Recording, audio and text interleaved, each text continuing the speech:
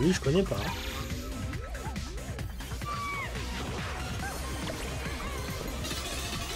Allez, on avance, on avance, on avance. C'est parti, on se petit sur le côté. Ça va très bien comme ça. Hop, hop, hop. hop. Le contrôle est vraiment excellent hein, dans ce jeu. Et c'est pour ça qu'on peut très bien avancer, temporiser, partir sur le côté.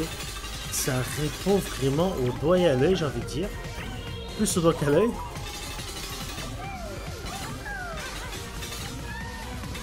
Je me mets toujours dans le sens de la rotation. C'est bon.